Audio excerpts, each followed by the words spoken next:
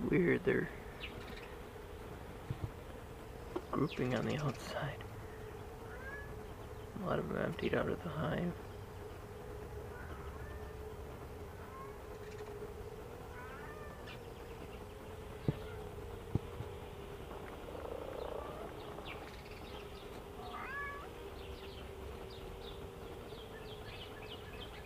Never seen him do this before.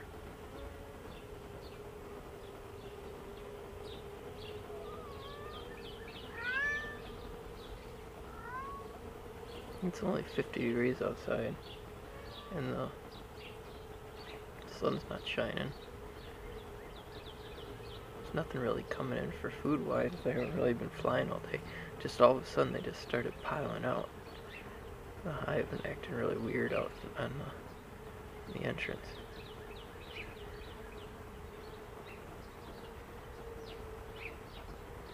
Hanging out underneath.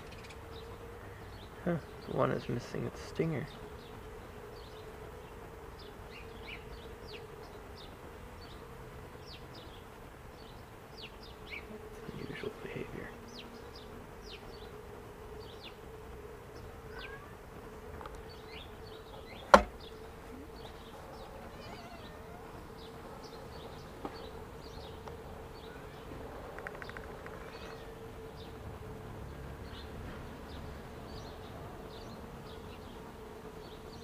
No warning why they're doing this.